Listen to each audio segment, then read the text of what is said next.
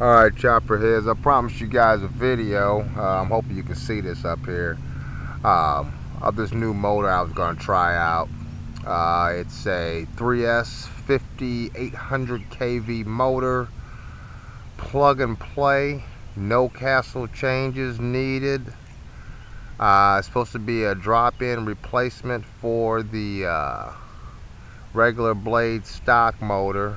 So that's exactly how it's set up also it's uh, six poles. So I went ahead and uh, had a nice little pack of email messages and stuff that came through. So in either case I uh, went ahead and got my order in and it got me some pretty cool Lynx stuff while I was at it.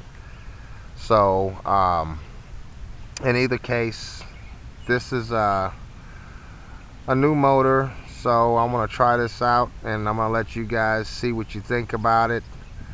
Um, if you're interested just look at my video. I'll have all the details of you know as much information as I can give you about it and uh, you know where you could pick one up from if you're interested. You know I don't I don't try to sell this stuff. I just go out there test it and I just put out my reviews as to what I think about it. Um, it has no branding no name no manufacturer or anything like that you know and I, again I'll, I'll give you all the specifics on that. So let's go ahead and see what we got going here. Uh, see what we got. Radio's good to go. Throttle hold.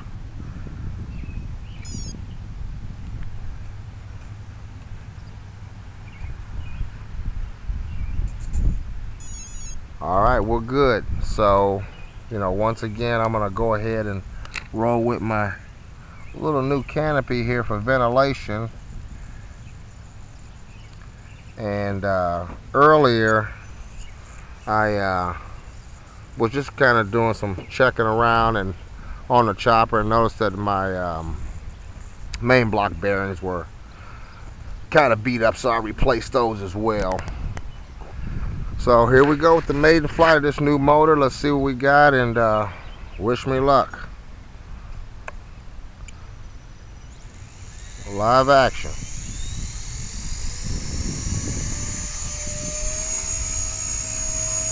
Alright, we got normal there. We got a little breeze out, not bad. Not too. Yeah, I got a little wag. I'll get that out. That's not a big deal.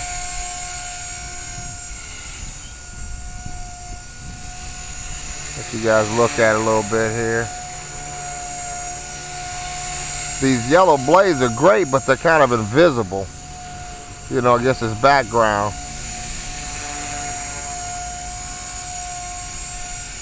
Get a little flying going on and see how we uh, work out here.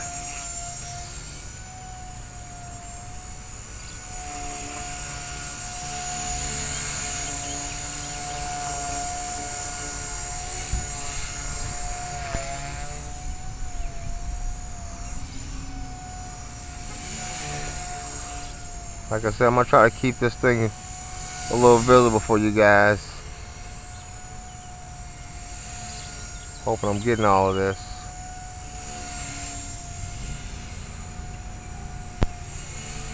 Alright. Oh got a little wobble there. Might have to make a few adjustments but uh, everything else seems to be okay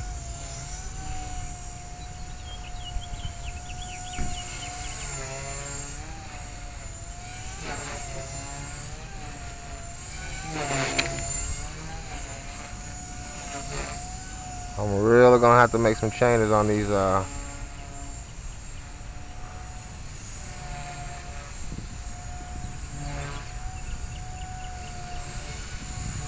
look pretty good.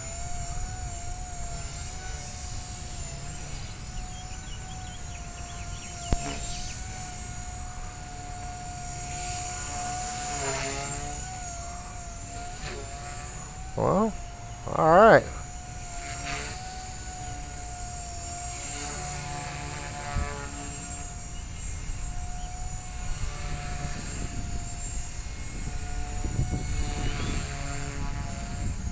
between them poles over there.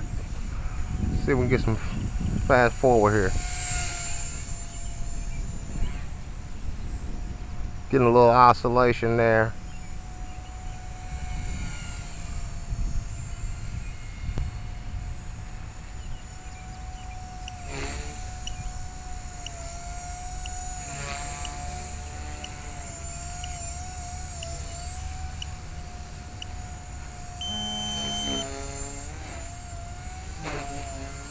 It sure as hell hangs.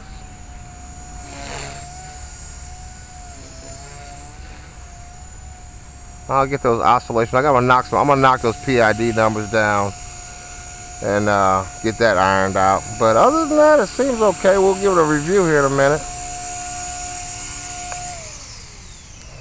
All right, you guys saw it for yourself. You're gonna make your own decisions as to what you want to do.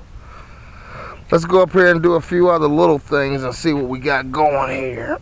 Uh, first thing I want to check is I want to check the temperature of this battery. I don't have anything that I can uh, really do outside of just kind of put my fingers on it, but uh, oh, it's fine. Yeah. Probably about the same temperature as the regular stock battery. I mean, I don't see it any hotter or anything like that. So maybe I'll level that out a little bit more. But uh, other than that, it it's cooling off already. Um, there you have it. You know, leave your thoughts, leave your comments in the uh, video. Rate it if you would. Let me know what you think. And uh, if you're interested, like I said, I'll just put the information out there and you make a move uh, as to how you see fit. Okay, thanks again, guys. Take care. 3D Lee, I'm out.